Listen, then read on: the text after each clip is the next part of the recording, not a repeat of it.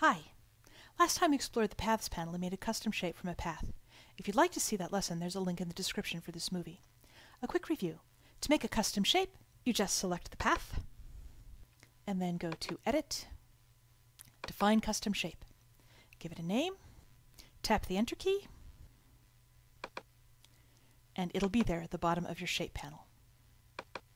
If you spent any time on it though, you'll probably want to make sure you don't lose it. Everything you do in any of the presets panels is only temporary till Photoshop is closed. That's when things are permanently saved. So if it crashes, you'll lose whatever it was. The paths will be saved in the document you made them in, of course, but that's clumsy. There are more elegant ways to save custom shapes and trade them with others. The key is the Preset Manager. You can get there from several places. There's a Preset button at the top left-hand corner of your options bar up here, and if you click that and go to the menu, you can open the Preset Manager.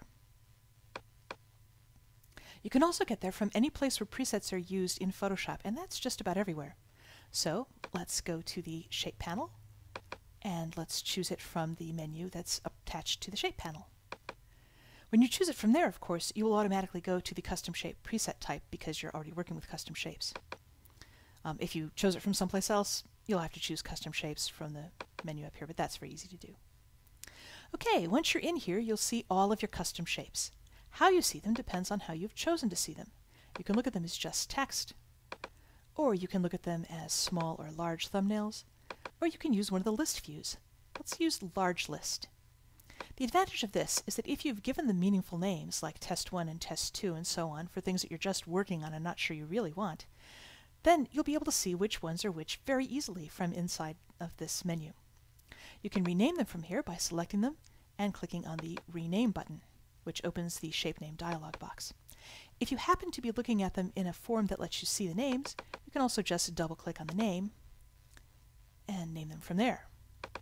You can select multiple shapes as well. For instance, if I hold on the Shift key, I can select all of these stop signs that were just tests that I don't want anymore, and then I just click the Delete button, and they'll all go away. Let's move back to looking at them as small thumbnails. Another thing you can do here in the Presets Manager is to reorder your presets. So for instance, if I decided that really these three, and I'm going to hold down the Shift key to select all three of them, and the envelope up here, and I can hold down Command or Control on a PC to select discontiguous shapes, really belong over here next to the arrows. I just drag them over, let go, and they're all moved just like that. And the other thing that you can do in here is save the shapes, which is what we're doing in here to begin with.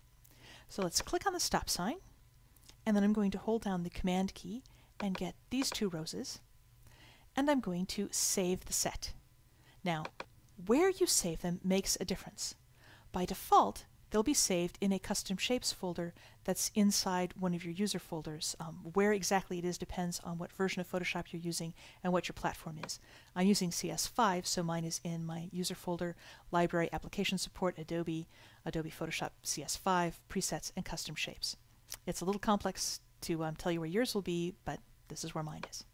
Now if you save them here, and I'm just going to call this Stop Test, then they'll be at the bottom of the menu when you close and reopen Photoshop. Let's click Done here. Right now, if I go to the menu, the preset menu, there's nothing there because I haven't closed and reopened Photoshop. Remember, it doesn't actually save till I close. So let's do that right now.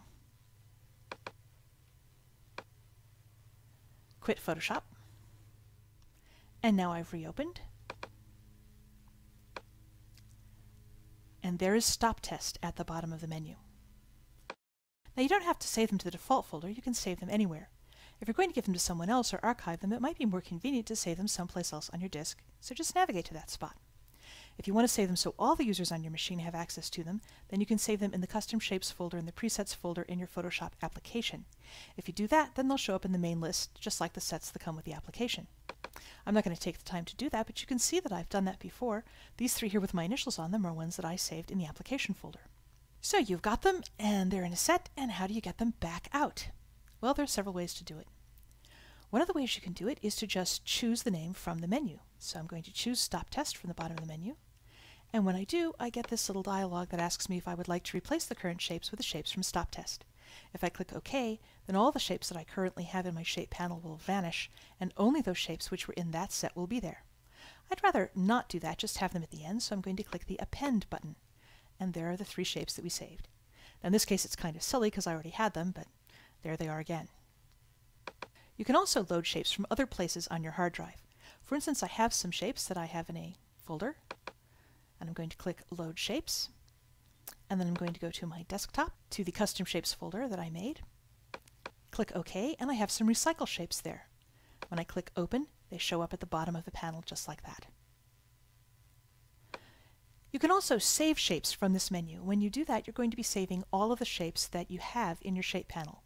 You can't save individual ones, just all of them or nothing at all. If you click Save Shapes, then you'll save them in the last folder that you opened.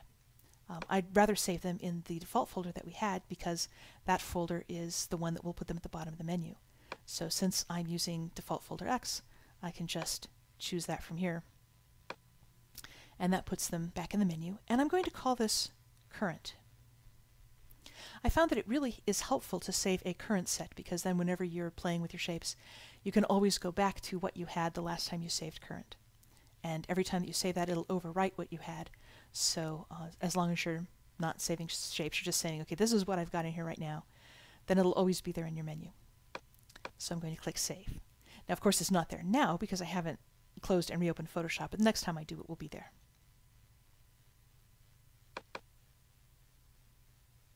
You can also reset the shapes from here. If you choose Reset, then you get the dialog that asks if you want to append the default set to the bottom of whatever you have, or if you'd like to just replace all of them. This time we're going to replace all of them. And when we do, we wind up with the shapes that we started with when we first opened Photoshop. It's not very many, so let's go back to what we had before by going to Replace Shapes. And that time you don't get the menu, you just get to replace it. So we're going back up to Current, the one we just saved, click Open, and now I have all of my shapes back the way that I had them a minute ago. You can also delete and rename shapes from this menu, but you have to do it one at a time. For instance, I could select one of the extra roses, and I could click Delete Shape, and it goes away. But I have to do it one at a time, so unless you're just blowing away a single shape or renaming a single shape, it's really easier to open the Preset Manager. And that's how you manage custom shapes once you've made them. Next time, we'll finally see how you can actually work with them in Photoshop. Until then, this has been Robin Wood, and I hope you found this helpful.